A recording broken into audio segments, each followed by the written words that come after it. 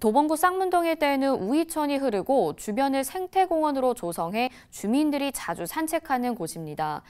그런데 7년 넘게 우이천 상류 지점에 녹조와 누수 문제가 심각해 이를 해결해야 한다는 민원이 지속됐는데요. 올해 서울시 예산을 지원받아 보수 공사가 진행될 예정입니다. 강혜진 기자가 취재했습니다. 덕성여대 인근의 우이천 일대입니다. 생태하천 주변으로 산책로가 조성됐지만 우이천 상류 지점은 7년 넘게 녹조와 누수가 지속됐습니다. 산책로를 자주 이용하는 주민들은 날씨가 풀리고 더워지면 냄새가 심하다고 말합니다.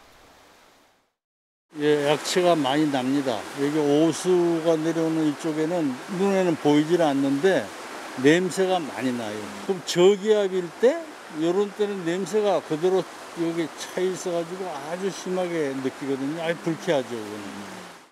어우, 냄새가 너무 많이 나요. 그래 걸어 다닐 수가 없어요. 비가 오면은 좀 쉽게 내서 난데 비 안 올 때는 엄청 냄새가 많이 나요. 악취의 원인은 하천 내 설치된 하수 차직관로 때문입니다. 생활 오폐수 분류 장치인 차직관이 노후돼 우이천 상류로 오폐수가 흘러나와 녹조가 생기고 냄새가 나는 겁니다.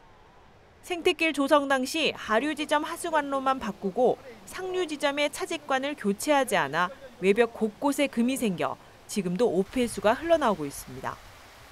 지역에서 수차례 개선을 요구한 끝에 올해 우이천 상류 지점의 하수 차직관로 보수가 결정됐습니다.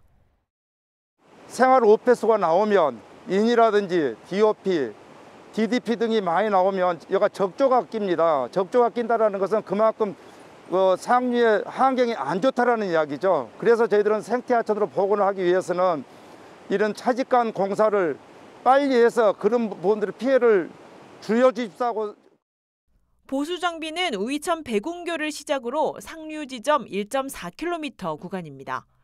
기존의 오래된 하수 차직관로를 보수 정비하는 데 투입되는 서울시 예산은 24억. 올해 공사를 시작해 우이천 상류 지점 녹조와 악취 문제가 개선될 전망입니다. BTV 뉴스 강혜진입니다.